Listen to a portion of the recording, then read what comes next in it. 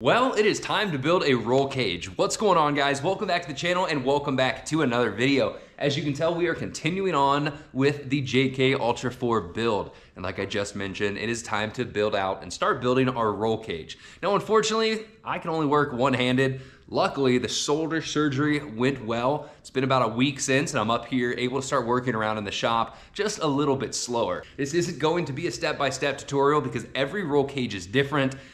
Every design is different, and it really depends on how you wanna build it. Now, I know the first thing people are gonna ask is, why didn't you go with this roll cage, this brand roll cage, blah, blah, blah. There's a lot of options out there, but to cut that really short, none of the roll cages that you can buy online and have delivered to your house are going to meet Ultra 4 spec. And we're gonna talk all about the specifications in the video, the rules, regulations, what you need to build it to, and kind of what we're looking out for in regards to safety. Because in the end, it doesn't matter how cool we build this thing, if it's not gonna keep us alive in the event of a rollover, it's useless. We have a lot to do in this video. Let's get started. Now I have about six main goals that I want to accomplish when we're building this roll cage. And the first one is quite obvious. I want it to be as strong and safe as possible. That kind of goes without saying. If we're building a roll cage, I want it to be able to handle some pretty heavy hits and to protect us in case of a rollover. The second one is to be able to build the roll cage to be removable until the final assembly. And that's gonna help us make sure we can get in and weld the backside of the tubes, full penetration, really good welds, and then we'll be able to paint it at the end because nobody wants a rusty roll cage. Now it is a little difficult planning out a removable cage that in the end is going to be fully welded. And we'll talk about the plan for that once we get started here. The third one is going to be obviously meet Ultra 4 tech specs. I don't want to get out there and find out that we missed a rule and we're not able to race without completely redesigning our roll cage. We're gonna go over all the specs and what is required out of a roll cage to race in Ultra 4 or King of the Hammers. Now the fourth one is a pretty big one and it's often overlooked or kind of realized at the last minute after the roll cage is built. We have to have three inches of head clearance between the roll cage and the driver and co-driver with a helmet on. So it's important to make sure we sit the seats, position those so we have at least three inches of head clearance and of course, make sure we have enough room in here to sit comfortably without laying up against a piece of DOM tubing. Fifth one, I want this to have good style. Now, function is more important than style in my opinion. However, I don't want this to look like some wild home-built roll cage. I'd like it to resemble a nice clean Jeep roll cage while still offering a ton of protection. So it can be a little bit difficult getting that good style while still retaining the strength, but it's not that hard to do. And the sixth point is having a six point roll cage. It kind of tied into each other right there. So Ultra 4 rules says we have to have a six point roll cage tied into the frame. Now you can run a body mounted roll cage, not the kind that you could buy from, you know, a Jeep modification roll cage dealer, it has to actually tie into the body in a certain amount of spots, has to run sandwich plates of dissimilar size, but typically running straight down to the frame as your termination spots It's gonna be the strongest and best way to build an off-road roll cage. So we do have I've already talked about in a few videos, kind of the plan for the terminal ends on the cage, using leaf spring outriggers, couple tabs right there and we're running a solid bushing setup that's going to allow us to remove this cage until final assembly and we can weld it in and box it in. And then in the event that we ever need to remove the roll cage for repairs, body swaps, really any of that, all we have to do is cut those bushing legs off, pull the bolt out, grind the top off, and then our cage is now removable, but it still meets Ultra 4 tech. And I'll talk about that and show you guys how we plan on doing that here in a minute. Now, a few days ago, Mike and I were up here, and as you can tell, we actually have the first part of our roll cage done. This is our dash hoop. I didn't record it because I wanted to make sure First off, that me and Mike were gonna be able to do this with me having a hurt shoulder. We've been covering almost every single part of this build and recovering after surgery, I honestly wasn't in the mood to talk. I wanted to see what kind of work we'd be able to put out with me having a shoulder down and luckily it turned out pretty good. We're gonna check this here in a minute, throw it in the Jeep and get started with this roll cage build.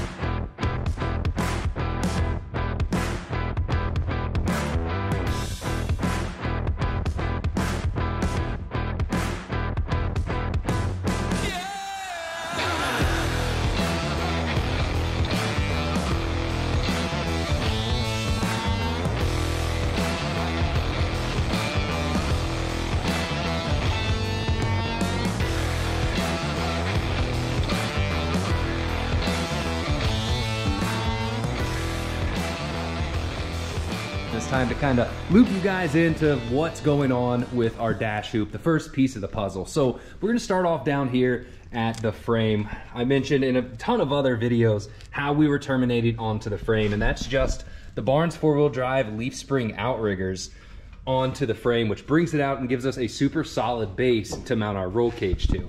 So we have our solid bushings inside the tubing there, and we have our tabs kicked off. Now the end goal is to weld this plate on once we're all done with the cage. That's gonna box this in. We're gonna weld on top. We're gonna weld the tab to the outside of the tubing. So at that point, the it's not removable. You could pull the bolt out and the cage isn't going anywhere.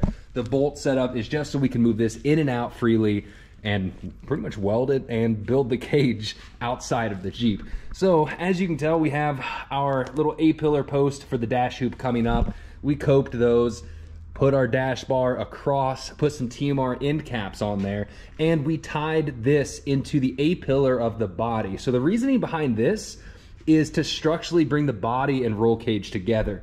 I like this a lot because if we take a huge side impact against a rock, typically what will happen is your body will continue to cave in until it reaches the tubing right here, which in our case would be quite a bit. Since we're structurally tying this in, if we take a hit right here, the body's not gonna deform as much and really move around until it hits the, the, the cage. So this setup was pretty easy to make, I'd say. Not easy, but compared to the rest of the roll cage, this is one of the easier steps. So our next step is how we're gonna tie in our main dash hoop which goes up along the windshield frame and down. Since we couldn't bring the dash hoop all the way out, which is what typically is done, we're making stanchions or little standoffs for that that are gonna tie into our dash hoop frame, this post, as well as our A-pillar mount. So this is gonna tie right here. We're gonna have, actually I'm gonna need Mike to uh, kind of mock all this up and I'll hop on the Jeep. So we're gonna mock that up. One thing while he's getting that ready, I want to show you guys a real helpful tip. I shared this on Instagram, but if you're dealing with brackets that are covered in mill scale, all you got to do is dip it in some vinegar, leave it there for a few days, and the mill scale just practically wipes off. So instead of grinding out all the mill scale, get some vinegar, soak it in a bucket, and you'll be good to go. So here is how we're gonna bring all these together. We're gonna cope and weld into the dash hoop bar, our lower bar, as well as that A-frame post. So the PVC is just something we can use for mock-up to make sure everything's good. And then on the bottom, we're gonna box it all the way in with some gussets. Structurally, I think this is probably one of the best ways we can go. And earlier, did a ton of modifications up here on the windshield frame. Actually, not the windshield frame. We folded the windshield frame down and made notches on the, uh, what would you call this? That is the top of the cowl. Yeah, oh, perfect. Top of the cowl. Did a bunch of cutouts to fit the pipes. Here is where our windshield V is going to be. So we're gonna go up, go to the center there. So all that's prepped. The windshield, in the end, we're not gonna be running the frame, but it's nice to be able to build the cage around the frame. So after the race, if we wanna throw the windshield frame back on, we can still do that without having to change up the roll cage. So build it around the windshield frame. I do wanna mention, all of the welds here so far have been TIG welded. So one thing we really need to look out for with MIG welding, especially on tubing like this, you can get a lot of distortion and next thing you know, stuff doesn't fit where it is. So the other day, once we tack welded this up, ran it over to Mike's house and his buddy TIG welded up, did a fantastic job. TIG welding is going to be a little bit stronger. It prevents a lot more of the warping from happening. And with my current state, I've tried laying down some welds and if I'm not perfectly flat with one hand, it's, it's just not working. I didn't realize how much I use my left hand for stabilization when welding, but TIG welding it's gonna give us a stronger output. Unfortunately, I will not be able to say I welded the entire cage, but I have no problem with that. So it's still welded in-house. So it yeah, it, we didn't we didn't pay a shop to do it. Now, while we're here, there is one thing to mention any point where there could be a single weld fracture. So let's use this for example. According to Ultra 4 rules, we have to have a gusset here. So we can use a few different ways to gusset this. We can use a 3 by 3 gusset. We can use a saddle gusset, and I'll throw a picture of it right now. It's just kind of a molded and shaped gusset. Or we could use a tube and have copes on both sides to gusset this. Like that And uh, we actually do have a 3x3 gusset over here. Uh, Barnes four-wheel drive 3x3 gusset. There is a thickness spec, but usually 3 16ths or quarter inch is more than enough. Yep, so every single intersection like that is going to have a gusset just to make sure if one of the welds do break, still structurally sound. So that's a lot of talking. Let's put the camera down and get these tacked in.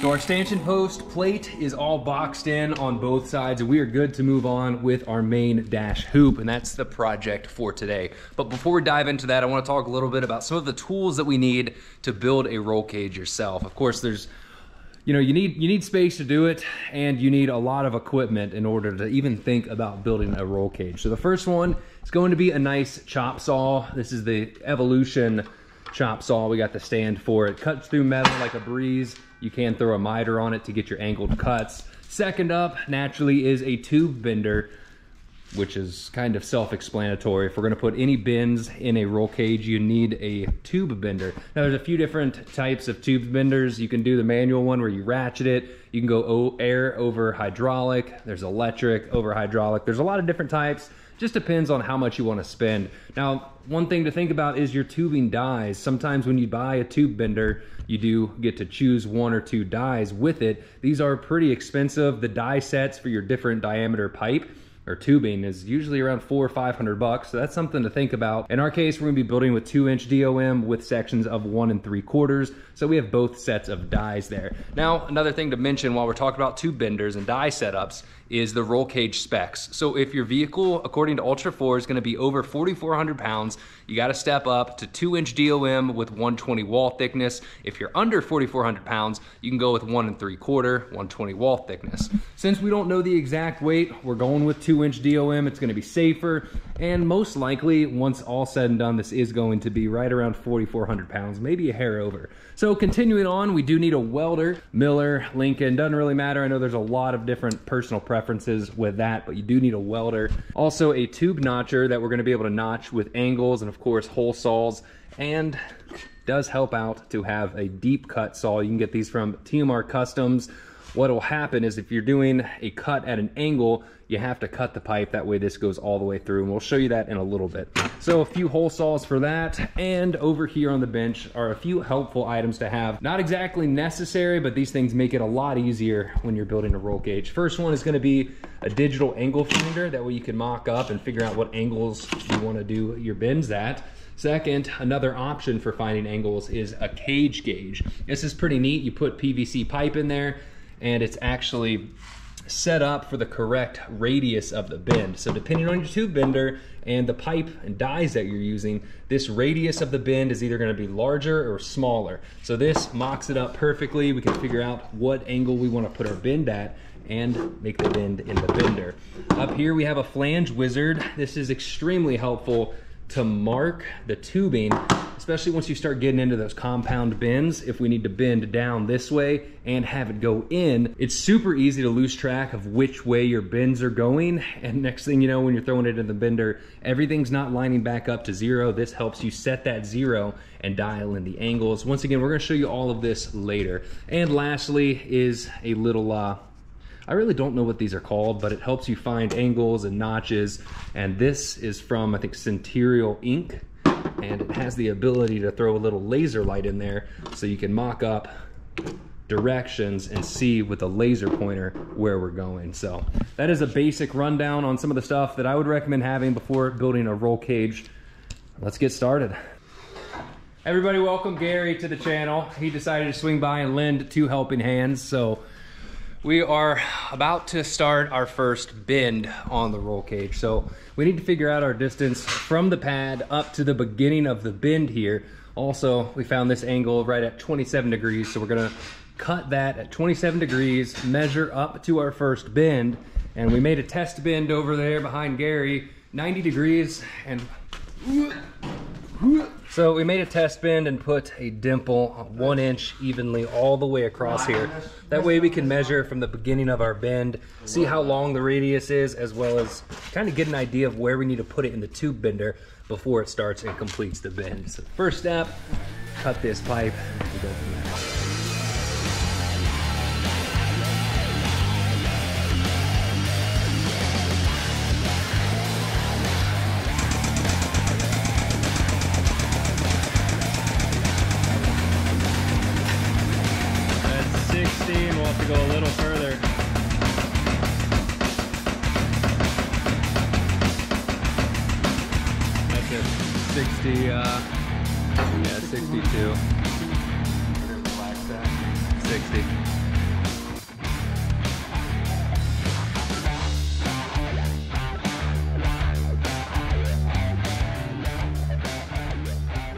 So we've thrown our first bend in there, set it at 60 degrees, and as you can tell, we got the pipe overhanging. Definitely need plenty of room. And all we're doing now is just trying to figure out, really at this point, it's just styling, trying to figure out the next bend on how it's gonna come down and at what angle we want to set the fastback at. So this is 35 degrees. We messed around with 45 and 40.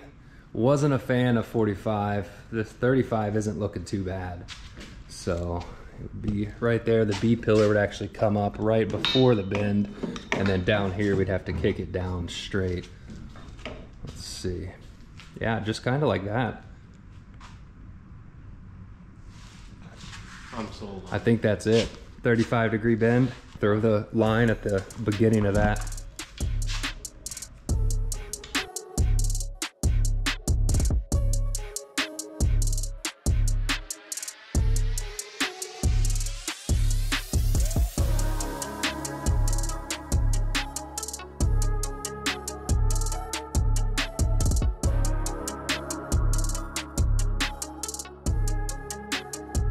Time to do our final bend where it terminates on the rear of the cage. So this is going to be a compound bend. So every bend that we've done so far, the 60 and the 35 have been on the same plane. But this last bend, we actually need to have it come down, bend, and go in towards the frame. So all we have to do is rotate our pipe down 10 degrees to get a compound bend consisting of 60 degree down and 10 degrees out. So it's a little tricky trying to visualize everything and figuring out which way it's gonna bend. But once you see it, it's, it's fairly simple. If we look at it from this angle, if that was down and this was straight, it would be the same thing as our roll cage coming out and flaring this way. So we're gonna lower our stand here until we meet 10 degrees. And then at that point, set up our bender in the exact same way, throw 60 degrees in it, we should be good to go.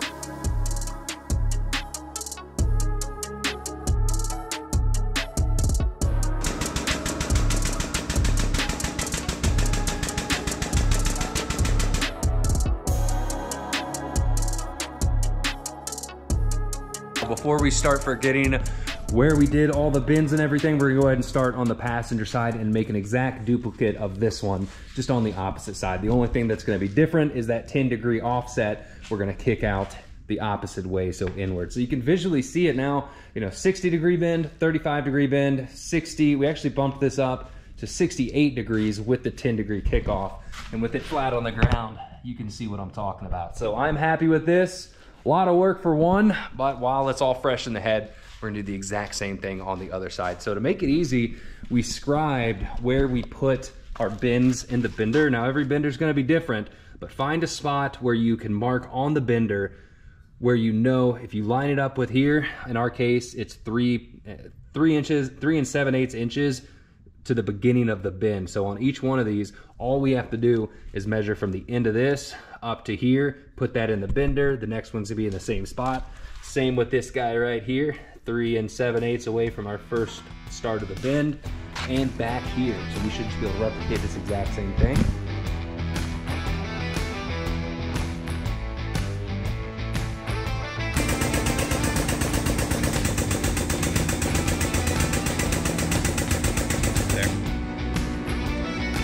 So when you're bending tube, you need to account for spring back. You gotta go a little past your bend, and then when you let off, you'll actually see it springs back right where you want it. So of course, you gotta find out where your spring back is, not only for the type of material, but also your bender setup. Well, unfortunately, it looks like our day might have come to an end. Hydraulic ram blew out the seal, and luckily, the side shop junkyard outside coming in handy. So this, there was something wrong with this one. I think it might have been the uh, the air unit. I think the ram itself is actually fine. So we're gonna disassemble that, see if we can't swap the seal. So we're gonna swap parts over and hopefully be back in business here shortly.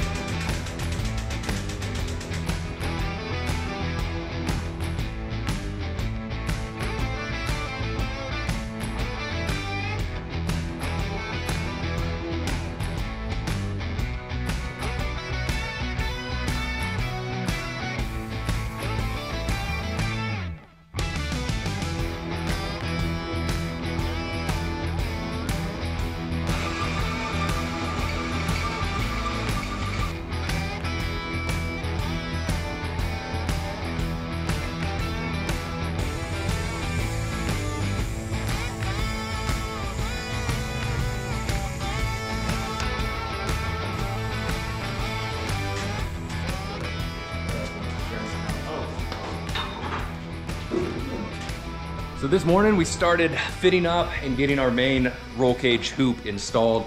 Got Dustin over here, putting in some great work, working on these notches, getting everything really nice and tight, and we're tack welded in, TIG welded. So we're moving on to the second piece over on the passenger side. You're good, just go for it, I'll talk through you. And uh, this is looking really good. Super happy with how it's turning out, but we're trying to get as much done as we can. It's Sunday, so trying to knock out this work. At this point, all we're doing is coping, notching, test fitting, making sure everything's level, making sure everything's square. Since we're not running the windshield, none of that really matters. The big thing we're looking for is making sure the top of the cage is level with the tub and looking at it on the backside, making sure it's not tilted, making sure it's level straight up and down. We're gonna do the exact same thing over with this one. So he's working his magic.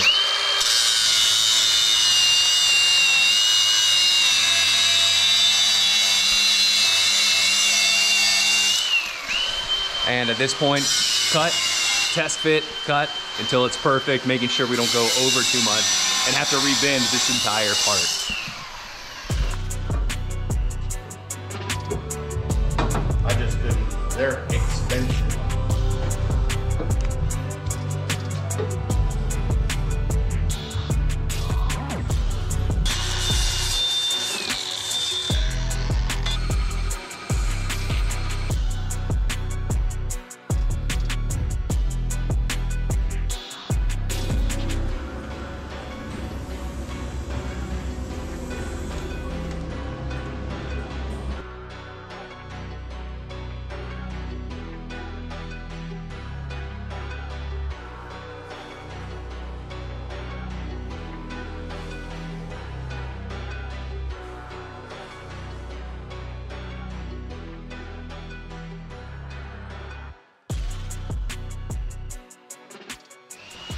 We've got both main hoops done. And at this point, all we're doing is working on our front windshield spreader, which goes across here. So we have it notched. We're gonna tack weld that in and then hopefully be able to pull the cage out to make the rest of these welds behind here. That's still a little bit hot. And then kind of make sure that the cage is removable at this point. So everything's looking good. I'm happy with it, man.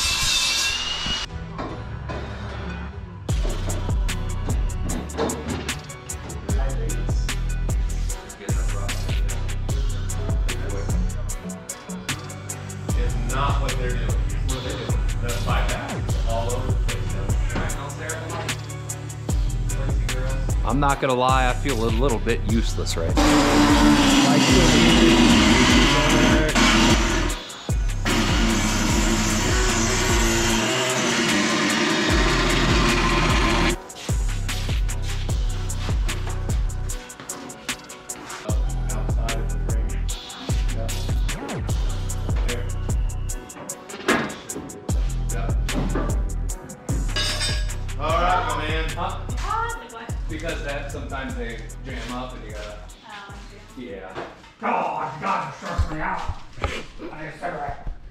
To give a humongous shout out to Mike and Dustin for putting in a ton of work yesterday. I just sat around and did whatever I could, but honestly, those were the guys putting in all the work. This cage is looking phenomenal. Beautiful welds by Dustin. Mike put in a ton of work helping out, doing all the notching and whatnot. I am super stoked at how far we've gotten with this. So my main goal was getting this main framework for the cage done. That way we can start figuring out where we're gonna put our B-pillar, all of our diagonal bracing, the windshield V, and we have a lot of work ahead of us, but that is going to have to be in a second video because this one's already quite long. So moving forward, the next video is when we'll hopefully kind of dive in a little more on the technical side about notching tube, bending tube. This one we kind of sped through it just because I'm on a time crunch. I'm actually heading down to Texas to do some Coast Guard reserve work in two days. So we are gonna step back for a minute before everybody heads out of here, and I want to announce a gift card giveaway winner. So a few videos back, I mentioned that we did have a gift card giveaway coming up, and to be entered, all you had to do was have a comment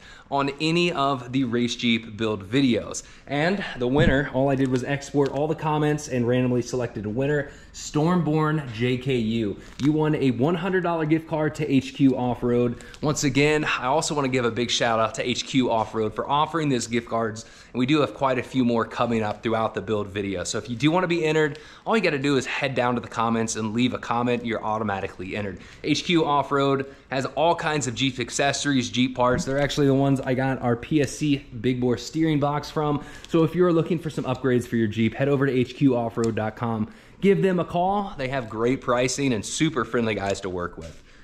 Man, every time I look at this cage, I am happy with it. But moving forward, you'll see why we're doing things the way we are. And it's kind of hard to explain until we continue on working on it and can physically show you what the plan is for this Jeep. But this video is long enough. Thanks for watching, guys. Like always, leave a comment, subscribe to the channel, and I will see you guys next week with another video.